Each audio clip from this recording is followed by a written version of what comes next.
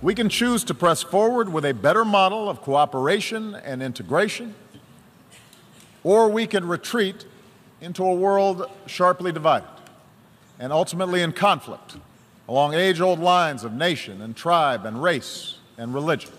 President Obama addressing leaders from around the world for his final time in office, wrestling with humanity's biggest struggles greed, inequality, authoritarianism, intolerance, and calling out what he sees as the causes, even within America. Religious fundamentalism, the politics of ethnicity or tribe or sect, aggressive nationalism a crude populism, sometimes from the far left, but more often from the far right, which seeks to restore what they believe was a better, simpler age free of outside contamination. False populism is a phrase the president has used before to describe Donald Trump's words. And he made more than one, more than obvious reference to the big choice America is facing. Today, a nation ringed by walls would only imprison itself.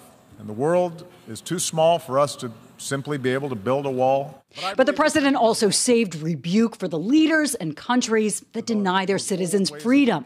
History shows that strong men are then left with two paths permanent crackdown, which sparks strife at home, or scapegoating enemies abroad, which can lead to war. He called out North Korea for its nuclear tests, Russia for taking over its neighbor, in a world that left the age of empire behind. We see Russia attempting to recover lost glory through force.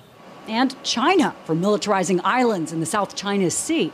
A peaceful resolution of disputes offered by law will mean far greater stability than the militarization of a few rocks and reefs. With the world watching, President Obama made a sweeping case for liberal democracy. Sitting in a prison cell, a young Martin Luther King Jr. wrote that human progress never rolls on the wheels of inevitability. It comes through the tireless efforts of men willing to be co workers with God. This is what I believe that all of us can be co workers with God.